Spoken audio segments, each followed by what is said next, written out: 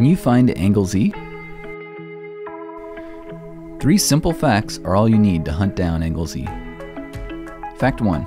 Angles that form a straight line sum to 180 degrees.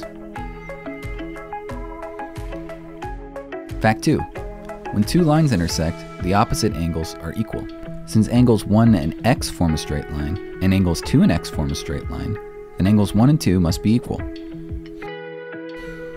Fact 3.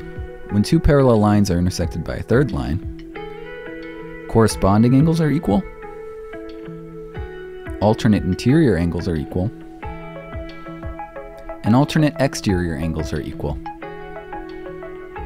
We're now ready to find angle Z.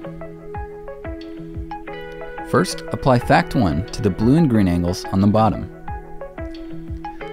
Since these form straight lines, we can figure out what the light blue and the light green angles are. Now let's apply fact 3 to the light blue and light green angles. Since they're in between parallel lines, their alternate interior angles must be equal.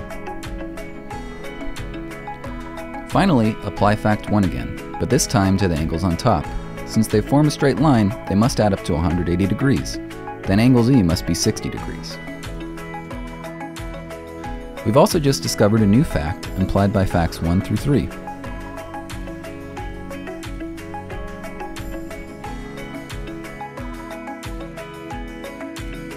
Fact 4. The internal angles of a triangle always add up to 180 degrees. Here's a summary of angle hunting rules. Let's try something a bit more challenging. What is x?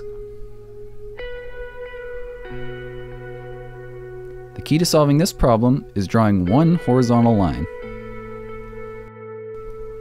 Can you apply the angle hunting rules to find x? To solve more angle hunting challenges like this, go to brilliant.org.